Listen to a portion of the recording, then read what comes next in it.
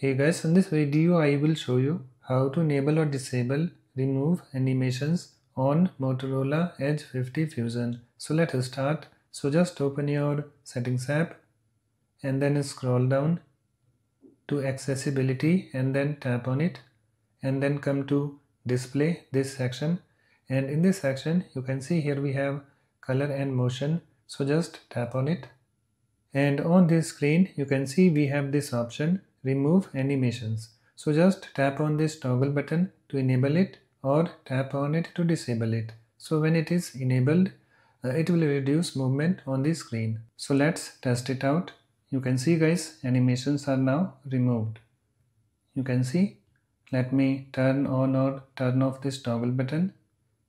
You can see guys, animations are removed from here as well. And when I disable it, now you can see animations are back to normal. You can see guys.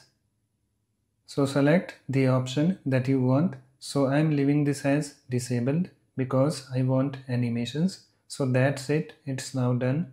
Please like, comment and subscribe for more videos.